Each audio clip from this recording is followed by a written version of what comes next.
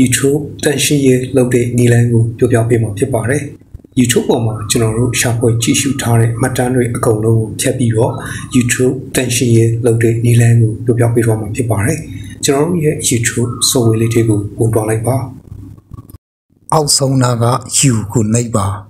။အပေါ်နားလေးက setting icon လေးတွေကိုနှိပ်လိုက်ပါ။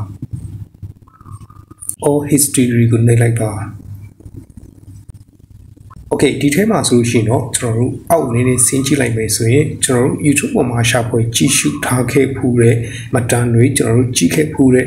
ဗီဒီယိုတွေအကုန်လုံးကိုဒီနေရာမှာစုပြီးတော့